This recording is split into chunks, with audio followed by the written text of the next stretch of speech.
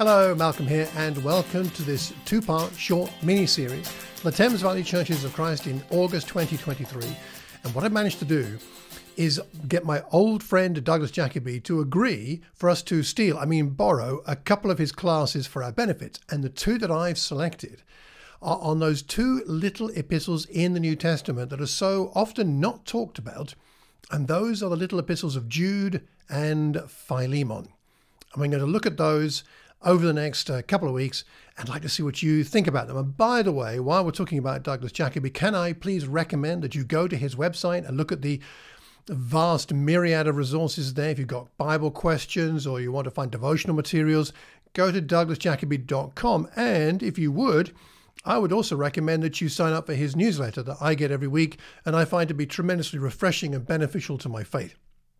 That having been said, let Douglas loose on us here with some thoughts on this week, the book of Philemon, which you might want to read in advance. It would definitely help you get more out of the class, though not absolutely necessary. And after he's finished, I'll come back with some questions for us to discuss in our groups. Now let's go on to Douglas's take on the book of Philemon. Well, possibly at the same time that Paul wrote Colossians, he also wrote Philemon. They're sent to the same part of the world, in fact, the same valley, the same area. And if you compare the names at the end of each letter, you'll see that these people all knew each other. At any rate, Paul writes Philemon, it's one of the four prison letters. Philemon is a personal letter, but it's not private. That would be a mistake. This is Paul's shortest letter. It's, he's really trying to motivate one person, Philemon, to take a certain course of action, which has implications for the Christian uh, faith, for unity. And the second main character is Onesimus, and I'll tell you more about them in just a moment. But Paul writes a personal letter in the middle, that is from verse 4 to 22, he's speaking only to Philemon, the recipient. We know that because the word you in Greek is you singular. Whereas in the beginning of the letter, the first few verses, and the very end, it's opened up and he's speaking to you plural, that is, a group of people. In other words, it's personal, but it's not private because people are listening in. There's an audience. People want to know what is going to happen here, what is happening. Now, before we read the letter in its full uh, entirety of all 25 verses, um, let's talk about these two men. Philemon is not just a Christian leader, he's wealthy. First, he has a church meeting in his home. He's not living in a hut. He's got a home big enough to even have a guest room. And he has a servant. Possibly he has more servants, but one servant has run away. So this is Philemon, probably married. It's suggested that Apphia is his wife. We only see her name in passing uh, at the, in the uh, intro to the letter. And then there's Onesimus, his servant who ran away. Now, I know there's a mental or a heart block right here for many of us. We think, wait a minute, wait a minute.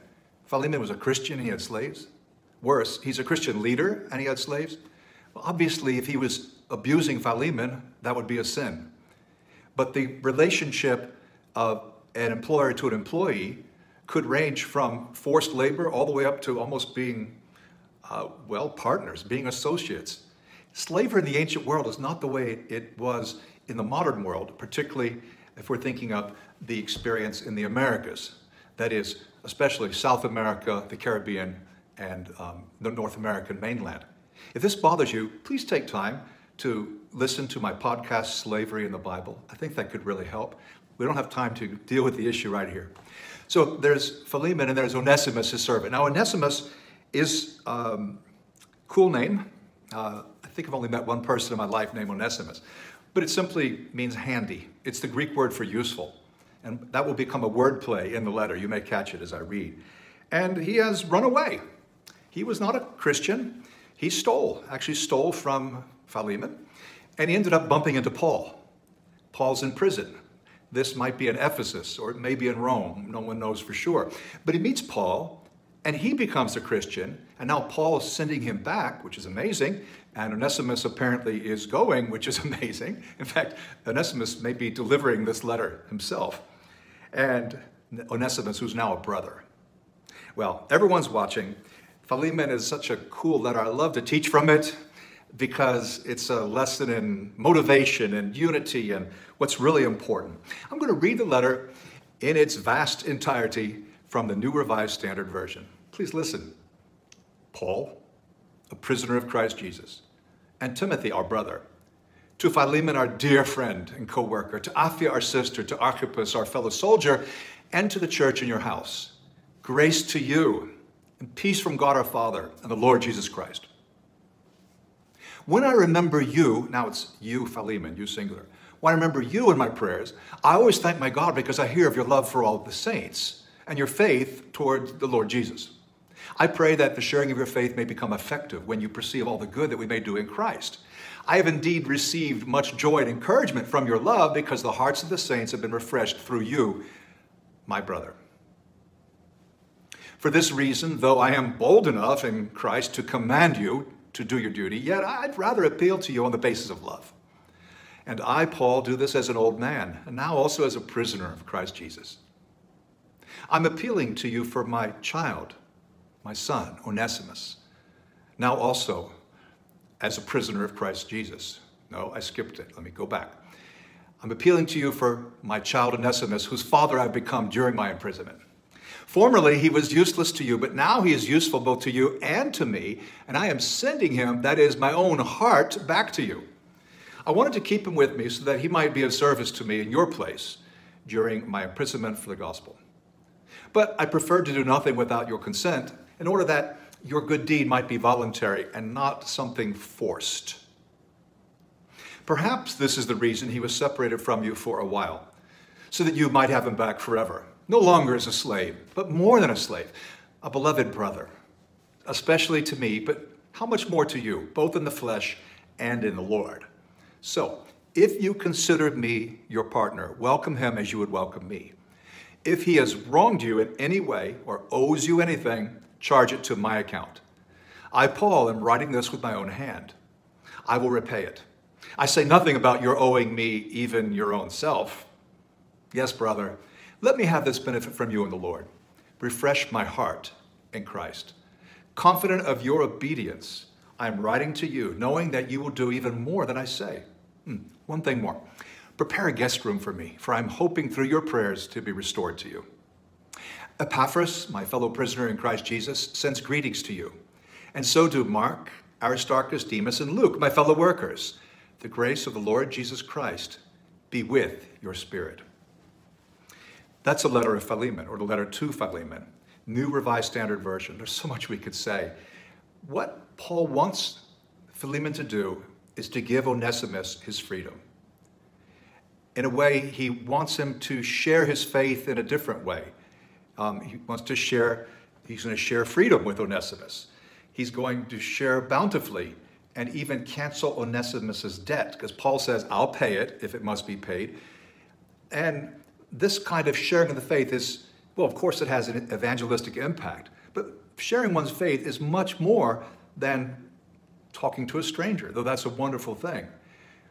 We share our faith with one another as brothers and sisters in Christ. There's a key word that appeared three times, and maybe you noticed this.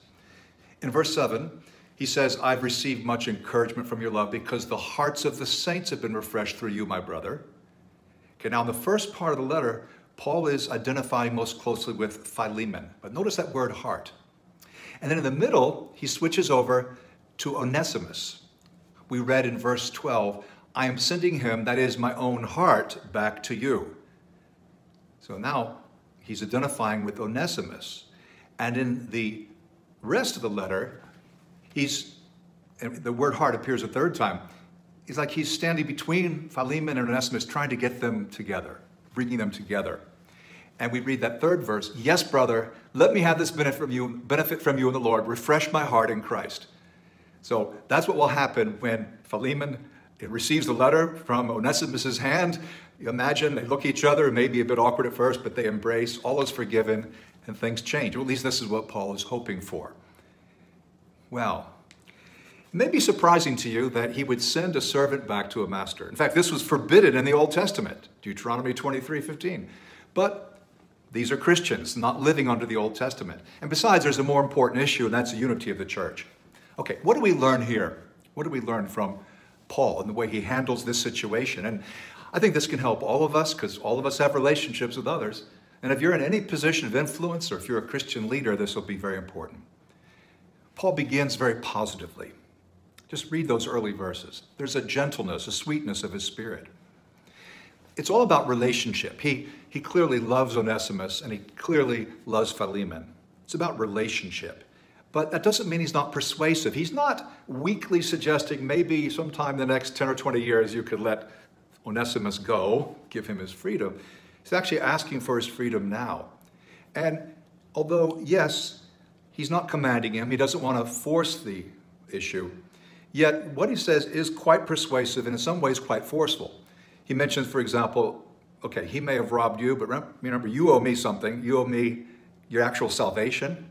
He reminds Philemon that Paul's an old man. There are things he'd like to do, but he needs help. And in a way, uh, Onesimus is giving the help that perhaps Philemon himself would like to give. He mentions that he's a prisoner. Oh, yeah, he's a prisoner. Not just an old man, he's an old prisoner, the one who actually brought Philemon to the Lord. And if that's not enough, you have the fact that the whole church are watching. They're watching this interaction. They're waiting. They'll find out what the outcome is. Paul doesn't order them around. He's not a bully. He doesn't use force. He motivates by the relationship. Last year, I did several podcasts on the very important issue of control. Uh, I, I share how, certainly in my earlier years as a Christian leader, I was far more controlling than I should have been. In fact, I really shouldn't have been controlling at all. And I think I have a better balance now. But all that means is maybe I'm improving. I still got a long way to go. And that's why when I read the letter of Philemon, I know in my heart that that's the way I should treat other people, from my wife to relations and the family, strangers, brothers and sisters in the church. And I try to do that, but I don't always succeed. In fact, I often fail. So I always will need the letter of Philemon. It's short, but powerful. What a package. Uh, Paul is not a bully. He motivates by love. He makes an appeal. You also notice that Paul doesn't bury the issue. A lot of times there's something sensitive, there's a clear problem in a church. And the church leaders think, really, we should just deal with it ourselves. We shouldn't let others know, because if they do, they might have an opinion or they might get angry or not understand.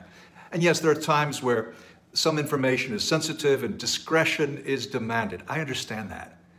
But this is quite public. I mean, Philemon's going back, it's a new member, and once, once people realize, wait a minute, isn't that the servant who used to work at the house of Philemon and Apphia? You know, this was not something that could be private. It just wasn't. They don't bury the issue. There's transparency and there's openness, and the church is watching. And that's why I think not only do I need the letter of Philemon, but I believe this is a powerful message for the modern church. And I hope that as you Continue to read this letter in the rest of your Christian life, however many years that is. You'll continue to have an open heart because really it's all about heart. God bless. Thanks for listening. So, what did you think of that class? Firstly, what spoke to you personally? What was relevant to you from what Douglas talked about from this amazing little book of Philemon? Secondly, what might be relevant to your group? Might be different from somebody else's group. Thirdly, how do we decide what is private and what is meant to be public in our faith community, in our family group, our small group, our location. How do we make those decisions? Some things should be confidential, some things should be public, like this situation with Philemon, or perhaps Euodia and Syntyche in Philippians chapter 4. Names are mentioned. How do we decide that? And then finally, and perhaps I think perhaps most significantly for our day to day life in our groups, is how do we how do we seek to persuade one another in a healthy way, persuade one another to godliness and godly behavior without controlling, without trying to control, without even perhaps subconsciously controlling? How do we do that? Persuasion without control. Those could be useful things to discuss in our groups. By the way, if you'd like to deepen your knowledge of the scriptures, why not join Douglas and me and Andy Bawachi for the AIM UK and Ireland program? Uh, this next module is on homiletics, which is basically about how to speak well from the Bible to other people. It applies to all Christians, not just preachers and teachers uh, who do that regularly. So if you'd like to be interested, if you're interested in that, like to join us, uh, please do drop me a line or go to the website, which is aimukandireland.com. It's all one word, AIM UK and Ireland, and you'll find all the details there. Next time, we'll go on to the book of Jude, which um, we're going to entitle Blown, Uprooted, Wandering. That's for next time. Till then, take care.